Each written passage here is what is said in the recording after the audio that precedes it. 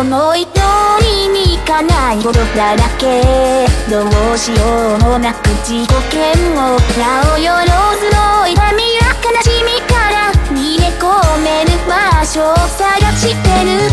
嘘いわの隙間に引きこもって月の太陽も無視して眠ろう。生まれ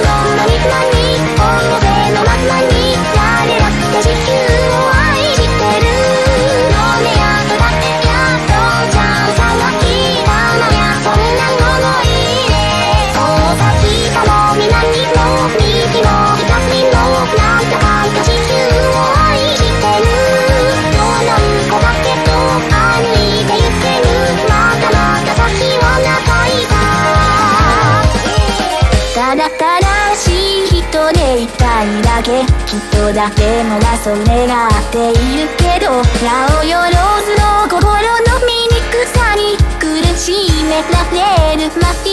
日さ僕が生まれて聞いたこと奇跡と言えば声はいいけどそれ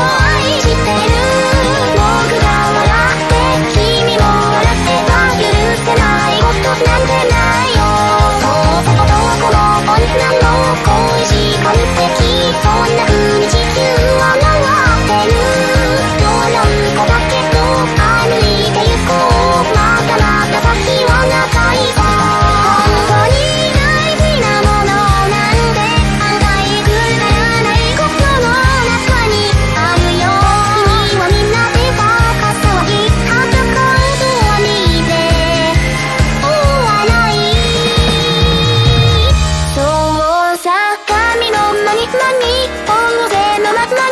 もっともっと自分を愛